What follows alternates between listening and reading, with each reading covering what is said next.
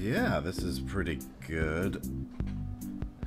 Habeas Dorcas, I present to you, and if I can get this framed right. Let's get this mic out of the way. Commodore Garbunkle. The tongue, as he's known on the seas. Appreciate the inspiration.